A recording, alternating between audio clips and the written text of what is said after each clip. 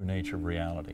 Now, you're a doctor. How do you how do you bring science and spirituality together? Because uh, this goes against everything that you've ever been taught. Well, it's important to point out that the science that I worshipped before my coma, that conventional neuroscientist says brain creates consciousness, is false. In fact, that science, there's no neuroscientist on earth who can give you the first sentence to try and explain how the physical brain might uh, create consciousness, and the reason is it doesn't. The brain is a reducing valve or filter, but a tremendous amount of our conscious awareness and experience and memory is not part of brain function at all. Hmm. Now, there are people, you have detractors out there that say this, this, they don't believe you. So what do you have to say to them? Well, it'd be one thing if I was the only one to ever have a near-death experience. Right.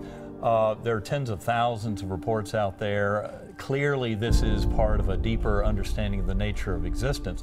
And I explain a lot of that in Proof of Heaven. This is really about science and spirituality strengthening each other.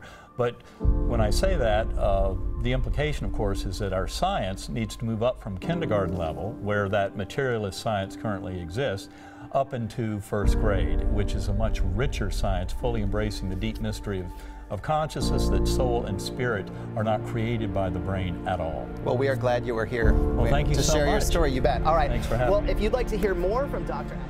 And I did. I, I remember just turning my head, looking at her, and saying, uh, I'm going to die. Goodbye, Joan. And I did. uh, it was then that I experienced experienced what we call a, near-death experience. Uh, for me, there was nothing near about it. it was there. Um, it was a total immersion in light, brightness, warmth, peace, uh, security. Uh, it, I did not have an out-of-body experience. I did not see my body uh, or anyone about. I just immediately went into this beautiful, bright light. It's difficult to describe. Matter of fact, it's impossible to, to describe. Uh, verbally, it cannot be expressed. It, it's something which becomes you and you become it. Uh, I could say that I was peace. I was love.